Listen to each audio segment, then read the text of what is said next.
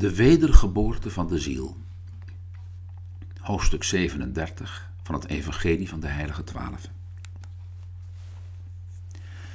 Jezus zat in het voorportaal van de tempel en er kwamen enkele mensen om zijn leer te horen.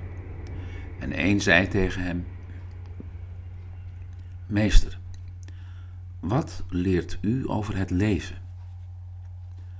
Hij antwoordde: Zalig zijn zij die veel ervaringen doormaken, want zij zullen door lijden volmaakt worden. Zij zullen als de engelen Gods in de hemel worden en zij zullen niet meer sterven.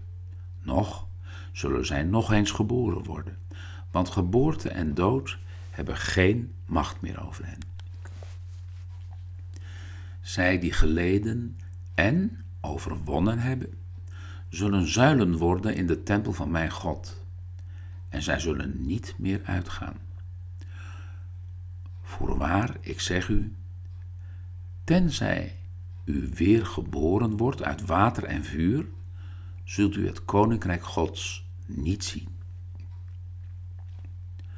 En een zekere rabbi, Nicodemus, kwam s'nachts uit angst voor de Joden bij hem en zei: hoe kan een mens, als hij oud is, weer geboren worden? Kan hij een tweede maal in de schoot van zijn moeder gaan en weer geboren worden? Jezus antwoordde: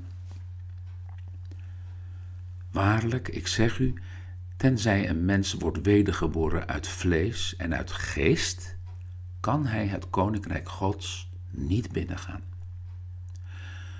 De wind blaast waarheen hij wil en u hoort zijn geluid. Maar u kunt niet zeggen van waar hij komt of waarheen hij gaat.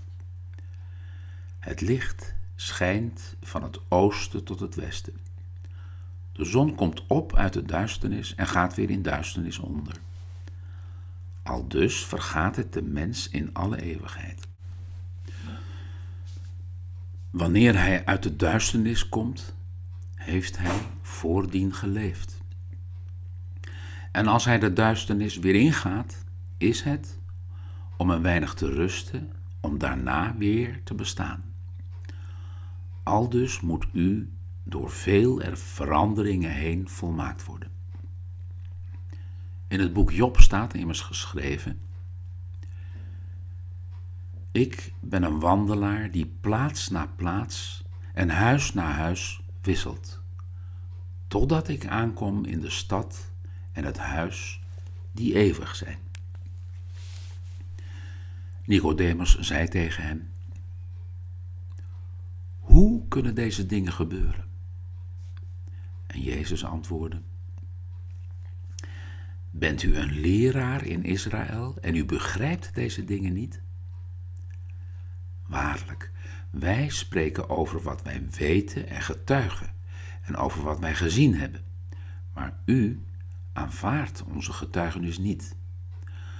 Als ik u over aardse dingen verteld heb en u gelooft het niet, hoe zult u dan geloven als ik u over hemelse dingen vertel?